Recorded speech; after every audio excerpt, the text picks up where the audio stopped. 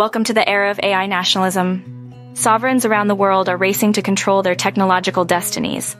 From Abu Dhabi's state-backed AI company AI71 to Mistral's $400 funding round in France and India's first multilingual LLM, the competition is heating up. AI is at the heart of the intensifying technological contest between America and China. Both governments have pledged billions for AI investments, while other countries like Britain, France, Germany, India, Saudi Arabia, and the UAE are also promising significant investments in AI.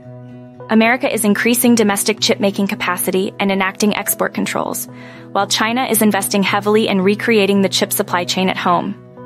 The Gulf's autocracies are moving quickly, investing in GPUs, energy, and human capital to stay ahead. Each flavor of AI nationalism carries its own risks, from upsetting allies to heavy regulation offsetting potential gains.